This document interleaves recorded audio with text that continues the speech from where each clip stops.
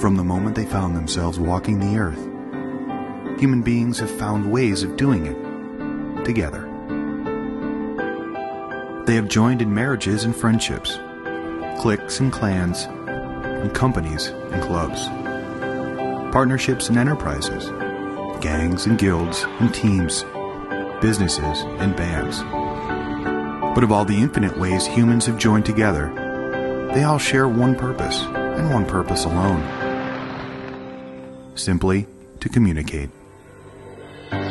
So, in the name of human communication, in the name of all the ways human beings join together with the insatiable need to connect, in the name of all the voices that carry that communication, we are intent on fulfilling the fundamental human need to simply communicate.